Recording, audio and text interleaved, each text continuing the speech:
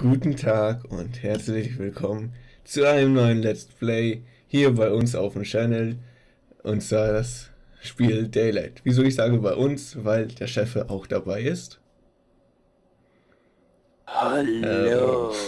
Ähm, jetzt werden sich einige fragen, warum ist Chef dabei? Das ist noch ein Singleplayer-Spiel. Ganz einfach, wir haben uns entschieden, wir beide werden es jetzt zusammen durchspielen.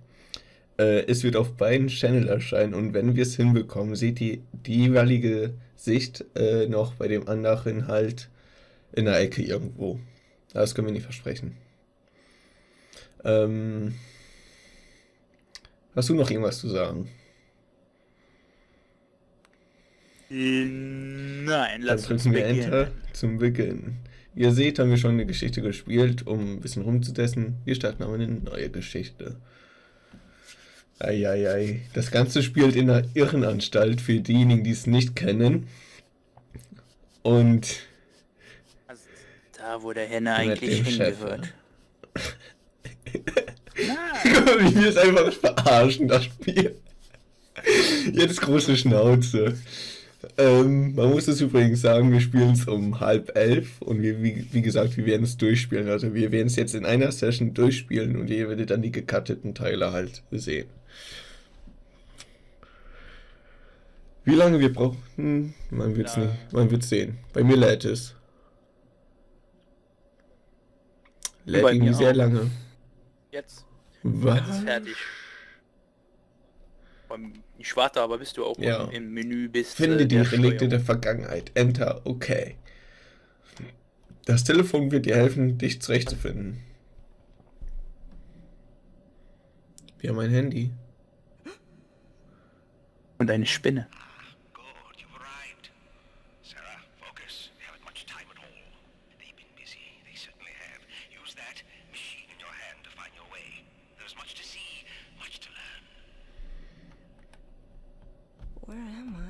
Okay. Da.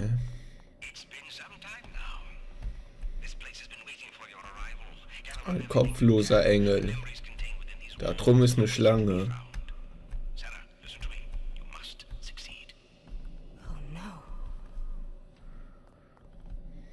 Okay, gucken wir uns erstmal ein bisschen um, würde ich sagen.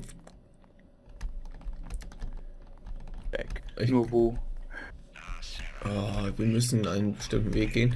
Ich wollte jetzt eigentlich da links hinter das Regal, aber der sagt er, nö, fick dich, geht's nicht lang.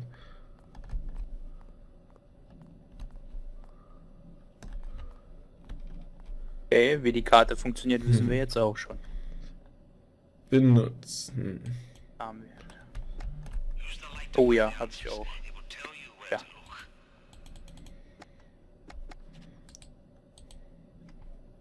Inventar voll. Du hast zu Wie viele funktioniert denn die. Karte? Ähm, mit M. Oh, okay.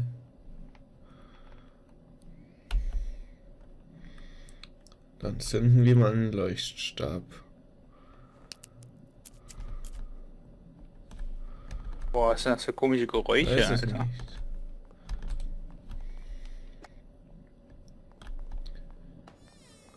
Auch mal einen auch mit 1. Zack. Es lädt. Oh, ich hab, ich hab was gefunden. Ich auch. Die erste Notiz. Willst du lesen? Oder soll ich? Äh, äh, äh, äh, okay, ich, ich lese vor. Ähm, New Kipling Harold, Gerald, keine Ahnung. Mid Island Haftanstalt bekommt neuen Chefarzt, 5. Februar 1907. Mid Island Haftanstalt hat vor kurzem den Namen ihres neuen leitenden Arztes verlautbart. Verlautbart, welch tolles Wort. Dr. Walter Mercer. Er ist als führende Persönlichkeit in der Pocken- sowie Tuberkuloseforschung bekannt. Hugh Kipling freut sich, einen so talentierten äh, und leidenschaftlichen Rekruten, der bereitwillig den Kampf um die Gesundheit dessen Bürger aufnimmt, an Bord willkommen heißen zu dürfen. Das war die Cool. Notiz. Ich habe hier eine andere. Wir werden die Notizen immer abwechselnd vorlesen. Wir werden wahrscheinlich eh alle bekommen. Äh, von daher, mh, ja. macht es keinen Unterschied. Und bei mir will es nicht durch die nächste Tür. Das lädt noch gerade ein bisschen. Da hatte ich auch schon beim Probelauf ein paar Probleme.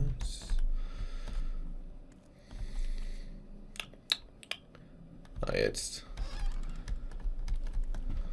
Suche, durchsuche die Halle nach nützlichen Gegenständen. Dann machen wir das. Wir sind im ersten Labyrinth angekommen. Bist du geradeaus oder rechts lang? Ich bin rechts lang.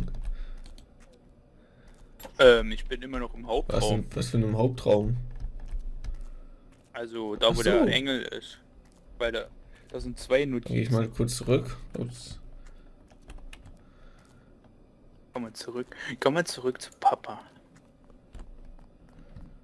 Was ist denn das? Wo Fußspuren. ist denn hier noch eine Wo- Notiz?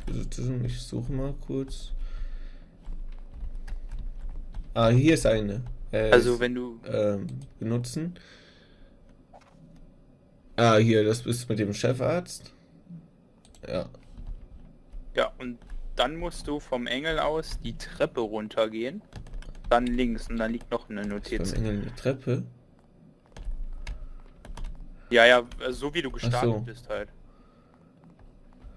Die lese ich dann mal vor. Häftling 52 hat offenbar Visionen von Schattenmenschen. Diese anwesenden Ärzte versuchen fortlaufend konventionelle Therapien. Aber ich glaube, wir müssen uns um neue Prozeduren Gedanken machen, die unseren bisherigen Erkenntnissen neue Anstöße verleihen. Okay. Man sieht hier also anscheinend Schatten. Ah, hier geht's noch die Treppe hoch. Ja, gehe ich jetzt auch hoch. Das ist sehr interessant, dass wir jetzt hier lang gehen dürfen. Weil dann habe ich eben die Notiz ausgelassen, die du wahrscheinlich als nächstes bekommen wirst, die du dann einfach vorliest. Okay. Hier auf dem Stuhl liegt noch eine. Soll ich dann die machen, weil dann kannst du die nächste. Okay, Ja, bist da ist nur ein Bild Stuhl? von einer toten Kuh. Was hat das zu bedeuten? Auf dem Highway in Amerika wahrscheinlich irgendwo. Wir wissen es nicht. Ah, da ist ja die andere. Mid Island Hospital. Patientenrekordfall. Datum 4. April 1988. Akte Patientin 13. Lauf. Ähm, mehr steht da nicht. Da steht Lauf. Hast du Was? die aus der Schublade hier links bei dem Regal? Also wenn du Äh, so ein Wägelchen. wenn du vom Engel aus diesen Gang, wo du hingehen musst, so, so oder so, äh, ist ja links dann so ein Regal, wo das Relikt angezeigt wird mit dem Leuchtstab. Nein, da habe ich noch nicht rausgenommen. Nee, Das die habe ich ja schon rausgenommen. Deswegen, ich dachte, Ah, da kann ich rausnehmen genau, und vorlesen, wenn du möchtest. dann machen. Kann ich mir gerade noch ein Knicklichter klauen. Gott, welche Ja, in einer Atmosphäre. dunklen Irrenanstalt. Mit zwei, so mit viele zwei. Idioten. Das kann nichts werden. Genau, de genau deswegen gehört der Henne in eine Irrenanstalt. Er denkt, er hat zwei Das klagt Persönlichkeiten. mich auch. Alter, ich bekomme das nicht angezeigt, dass ich die Schublade aufmachen kann. Benutze mal einen? Leuchtstab. Hab ich ja. Ah, jetzt. Nee, nee. Ist das derselbe Till? Nee, äh, ein weiter. Also, so. Ja, bist du Ja, schon durch die ja. Tür gegangen, oder was? Ja. Verrückt. Wow, Alter. Wir haben automatische Türen. Ah ja, jetzt sehe ich hier. Wow, Alter! Was ist dir los? Okay. Ist die Tür einfach auf. Es ist einfach alles aufgegangen. Okay, ich lese vor. Mid Island Hospital Patientenrekordfall. 4. März 1988 Patientin 13. Die Patientin, Alter 10 Monate, okay, wurde von ihren Pflegeeltern aufgrund seltsamer und beängstigender äh, Quatsch, was laber ich da? Beän beängstigender Zwischenfälle, die kurz nach ihrer Entlassung aus dem Krankenhaus auftraten, wieder eingewiesen. Alter! Ich hab Tattoos! Läuft bei dir. Okay, ich gehe Geht weiter. auch gleich weiter. Ich stibitzt mir nur noch einen Leuchtstab. Das ist eine gute Idee, weil einen benutze ich ja. Ja, kann man da laufen? Shift kannst du rennen. Kann man. So, hier gibt es die erste Wegzweigung. Ich gehe, glaube ich, rechts lang. Guck mal, was uns hier so erwartet. Und die Musik, ne? Gott. Rechts lang? Ich kann geradeaus Ich oder kann links. gehen. geradeaus, rechts, links. Anybody there? Oh mein Gott, ich höre komische Aber Stimmen. die Level generieren sich ja ähm, randommäßig, von daher ist es ganz gut möglich, dass wir halt verschiedene. Ja. Was war das für ein Klingeln? Meine Güte. Hilfe! Kann ich hier irgendwo? Oh mein Gott, Alter. Mhm. Die, Wow! Was geht mit dir? Ein Kleiderständer? Ne, was ist das? Ah, das ist so, wo man Infusionen dranhängt. So bewegt er sich von alleine, Mann. weiß es nicht, der kannst halt. Boah, ich hab Mhm. Gänsehaut. So, benutzen. Ich habe eine Notiz. Mit Island Hospital. Incident Report File. Incident, Incident, keine Ahnung. Datum 7. Juni 1936. Betreff Patient 279. Der Patient hat berichtet, er würde bei Nacht schemenhafte Gestalten in seinem Zimmer sehen. Das Personal wurde angewiesen, seine Wahnvorstellung mit Nachtsicht zu behandeln, Nachsicht zu behandeln, um gewalttätiges Verhalten wie bei Patientin 15 beobachtet zu vermeiden. Der Patient bleibt in seinem Zimmer unter leichter Aufsicht. Okay. Hier laufen anscheinend, liefen anscheinend Wow. Gestalten rum. Ich möchte den Feuerlöscher hier. Alter. Ich habe hier auch so eine rotglühende Nachricht schon. Ich weiß nicht, irgendwie. Ich hab hier auch eine. Mit Rot. Ja, dann mach du auf, ich mach auf und du liest vor.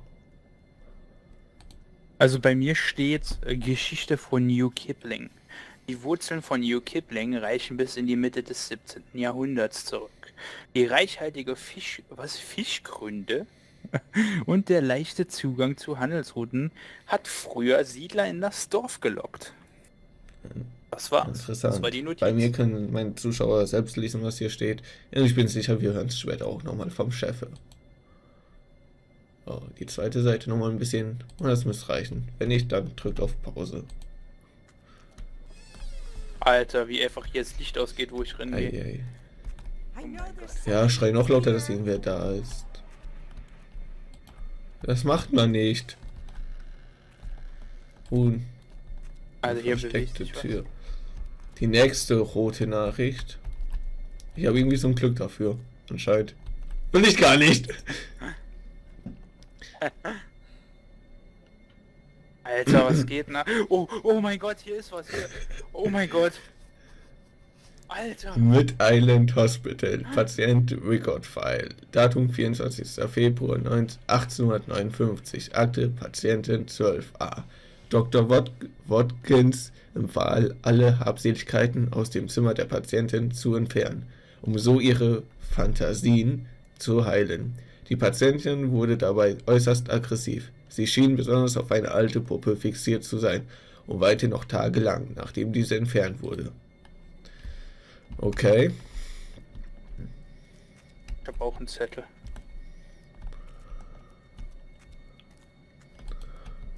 Äh, oh mein Gott. Also, Mid Islands Hospital, Patient Rekordfall, 9. September 1937, Patient 27c. Der Patient ist auf unerklärliche Weise über Nacht verstorben. Der Leichnam wurde heute Morgen von der Schwester während der Vorbereitung für die Elektroschocktherapie entdeckt. Der Leichnam wurde in die Leichenhalle überstellt. Die Einäscherung ist für diesen Abend angesetzt. Der Patient hatte keine weiteren Angehörigen. Hm, Ich habe hier auch direkt die nächste. Wir sind einfach so gut da drin. Wir müssen uns nicht gruseln. Wir müssen uns nicht gruseln. Also, Also bisher war es bei mir recht friedlich, nur die Musik so ein bisschen. Mit Island Hospital Incident Report File, Datum 16. Februar 1936, Betreff Patientin 15.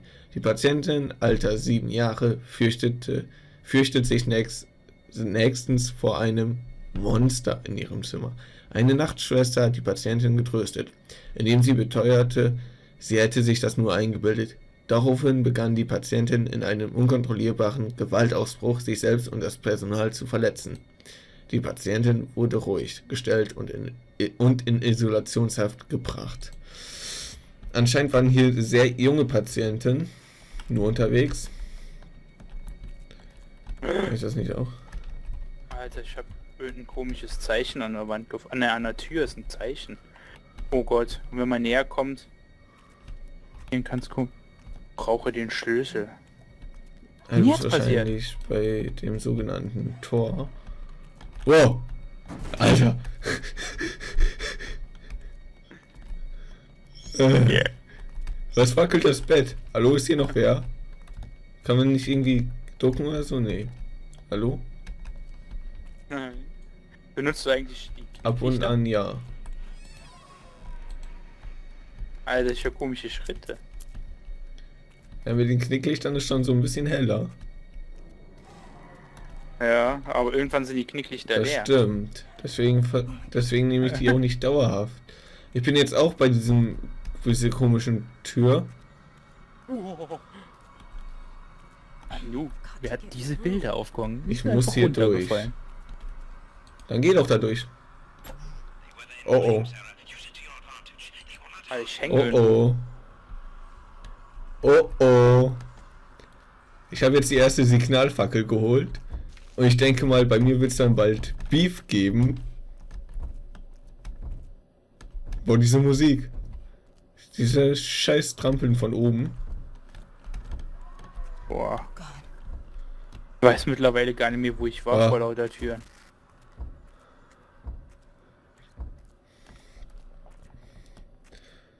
So, Mittelfinger auf A2. Alter, scheiß die Wand an. Wow. Boah, Alter, hab ich Gänsehaut, Mann. Oh, ich habe hier ein, zwei Schreibtische, die ich benutzen kann. Okay. Sie vergehen in den Flammen, Sarah. Nutze das zu deinem Vorteil. Oh oh, ich habe auch so eine Fackel. Mit Wir benutzen zwei. mit eins, oder? Ne, mit zwei. Ich habe einen Finger schon dauerhaft jetzt da drauf. Ich mach meinen Ring, oder? Welche Tasse könnt ihr am besten drauf machen? Ich spiele so, also die, Hier war ich, glaube ich, schon. Gucken wir mal kurz auf die Karte. Ja, hier war ich schon. hier steht, Das den heißt, Schrank ich benutzen. Zurück. Und hier rechts. Warte, war ich hier nicht auch schon? Ja, hier war ich auch schon. Wo war ich denn noch nicht? Dann ist das Schloss. Kann ich nicht. Doch. Alter, halt die Schnauze, ich höre irgendwelche Stimmen. Irgendein Gestöhne. Selber, selber. Sarah rufen die. Oh, ich weiß, dass du da bist. Alter. Ja. Mann. Warum wollten wir das nochmal spielen? Weil keine Ahnung. Oh oh. Ein Regal, das sich von selbst verschließt. Behindertes Regal, komm mal auf dein Leben klar.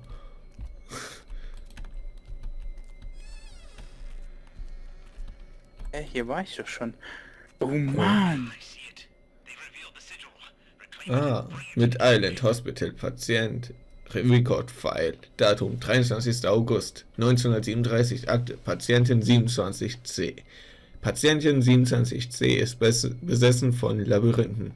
Zwanghaftes Verhalten hat ihn dazu gebracht, sie hat ihn dazu gebracht, sie überall, ach so, sie überall in seiner Zelle zu zeichnen. Nachdem ihm, ihm der Platz ausging, begann der Patient ein detailliertes Labyrinth in sein eigenes Fleisch zu, ritz, äh, zu ritzen. Es bedeckt seine ganze Brust, Teile seines Rückens, seine Unterarme, Oberarme, Oberschenkel und sogar Teile seines Gesäß und sein, der Genitalien. Der Patient wurde mit Hilfe einer Zwangsjacke ruhig gestellt und befindet sich in Isolationshaft. Okay. Hier ist der nächste Schreibtisch. Er schreit die doch rum, ist hier. Ja, ist so, ne? Also ich habe noch eine zweite Signalfackel. Sicher fühle ich mich trotzdem nicht. Gehe ich jetzt gerade zurück? Nee. Doch, ich gehe im Kreis gerade. Die benutzt man jetzt mit drei, oder? Ne, womit benutzt man Die mit eins? äh, Leuchtfackeln mit zwei. Ja. Die, ähm, wie heißt das? Äh, Knicklichter mit eins. Ja, weil du eine drei... Achso, das ist die Anzahl, die man noch hat. Alter, dieser Rollstuhl. Ich habe die nächste Nachricht. Hast du gerade auch eine? Äh, ich hatte die gefunden, die du so. äh, schon hattest. Ich habe jetzt vier Ich habe von sechs von sechs. George. Unten im Heizungsraum geht etwas vor sich. Während meiner Reinigungsarbeiten kann ich ständig hören, wie sich da unten etwas bewegt. Und ich versichere dir, es sind keine Ratten. Das ist etwas Größeres. Ich weiß noch nicht was, aber sei vorsichtig, wenn du da unten bist. Adam. Ich hab mir gerade mal ein paar Knicklichter. Hm. Okay, also die zwei sind dann da, wo du warst. Allerdings konnte ich nicht nach rechts gehen, ich konnte nur nach links noch gehen. Werde ich das doch glatt Hier mal liegt ein. Buch, wahrscheinlich eine Bibel oder so. Ein alter Fahrradrahmen. Hier ist das? mal. Stimmt. Sieht ganz danach aus. Und ein Tisch zum Rumwerkeln oder so. Sarah, wir holen dich. Alter, wo war ich denn jetzt nicht? Alter, die Musik. Bei mir ist zum Glück gerade gar keine Musik. Ist. Die Fenster sind auch alle verriegelt mit Holzbrettern. Äh. Alter, Mach doch. Mach jetzt ist gerade ja, das jetzt gehört. ist gerade bei mir äh, im Hintergrund also auf der Straße Motorrad oder irgendein Spinner mit seinem lauten Auspuff lang gefahren. Ach, das war bei dir. Ich habe schon gedacht, das kann ja nicht sein, dass wir gleichzeitig was Neues hören. Ja, ja. Ich höre Schritte. Ich auch meine eigenen. Hier ist das komische Tor. Ich höre noch andere und so ein, so ein komisches Atmen. Ein verlassenes Haus im Wald auf dem Bild an der Wand.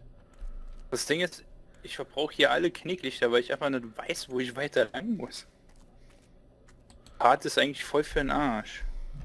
Jetzt hier einfach mal links. Dunkle. Okay, hier ist zu. Ich wieder Was ist zurück. das denn? Das sieht aus wie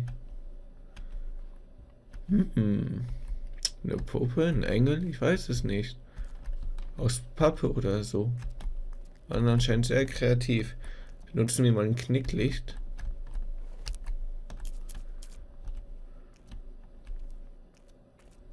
Oh oh.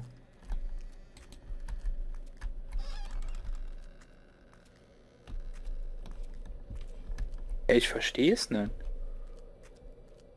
Bin hier alle Wege lang gelaufen auf der Seite. Ein einsamer Stuhl, ein umgekipptes Bett, ein umgekippter Hocker. Was hat das zu bedeuten?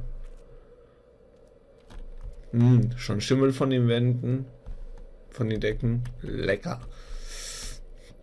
Das Witzige ist, jetzt haben wir noch große Fresse. Oh, ein Relikt. Immer. Was ist da drin? Ver Achso, verwende Leuchtstäbe, um Relikte zu verwenden. Verwende Leuchtstab gefunden.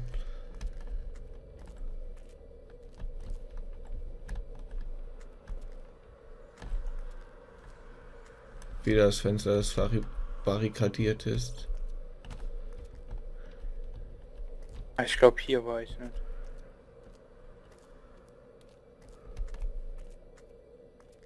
Oder doch? Alter.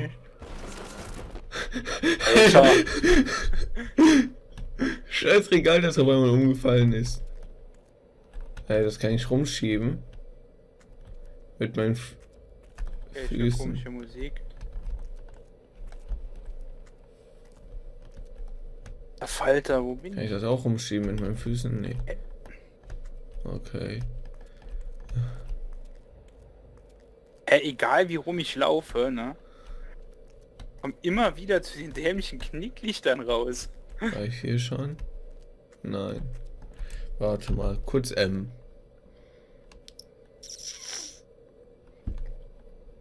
Reicht doch schon. Und jetzt hier. Und dann links. Ah, geht's nicht weiter. Ja, hier war der umgekippte Schrank. Und was ist hier? Stimmt. Ja, aber die ganze Zeit weiß, dass jemand hier ist. Ding ist, hier geht's zum Eingang, okay. Das ist der lange Gang.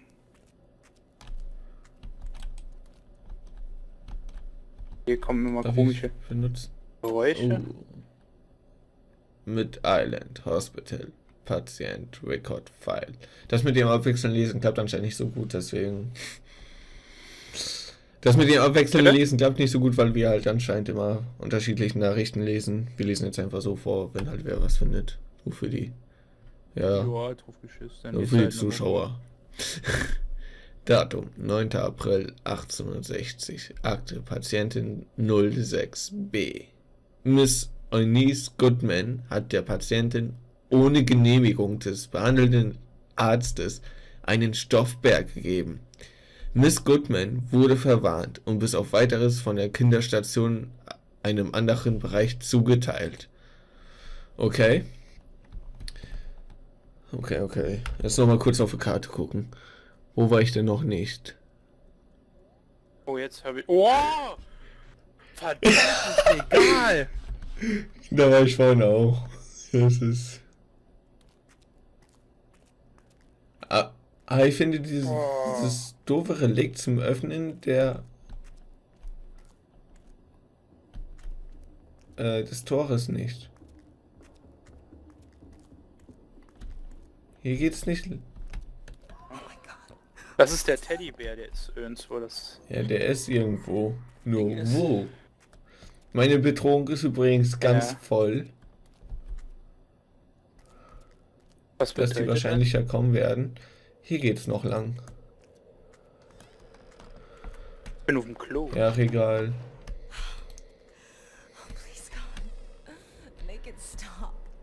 Wir gehen jetzt einfach. Ich bin in dem Reliktraum. Teddybär. Benutzen.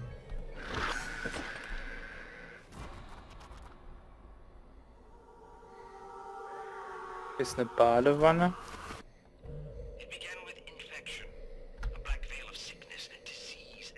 Alter Falter. Wir sahen. Geradeaus bis zum Ende des Flurs. Dann links. Dann wieder links. Dann rechts. Okay. Was? Wo bin ich denn jetzt?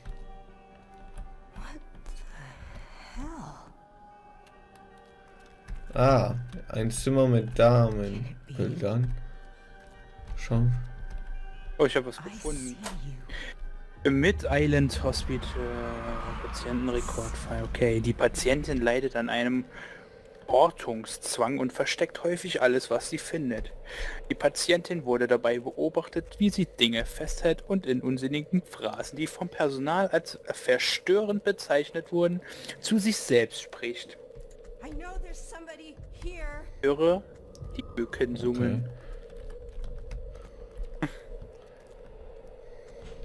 So, wo lang muss ich denn jetzt gleich? Ich hoffe, die Oma erscheint jetzt nicht. Jetzt gleich rechts.